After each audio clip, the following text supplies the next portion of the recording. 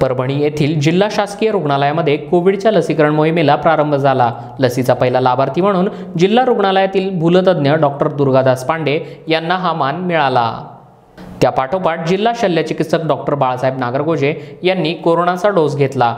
यासोबतच ज्या लसीची प्रतीक्षा होती ती कोविडची लस दोन दिवसांपूर्वी परभणीमध्ये दाखल झाली होती. नऊ हजार तीनशे तीस इतके डोस उपलब्ध झाले आहेत. त्यानंतर शनिवारपासून तिन्ही ठिकाणाहून लस देण्यास सुरुवात झाली. यामध्ये परभणी जिल्हा रुग्णालय सेलू येथील उपजिल्हा रुग्णालय तसेच परभणी शहरातील महानगरपालिकेचा दवाखाना येथून आरोग्य अधिकारी आणि कर्मचाऱ्यांना लस देण्यास सुरुवात करण्यात आली. जिल्हाधिकारी दीपक मुगळीकर यांनी महापालिकेच्या दवाखान्याला भेट देऊन लसीकरण मोहिमेची पाहणी केली.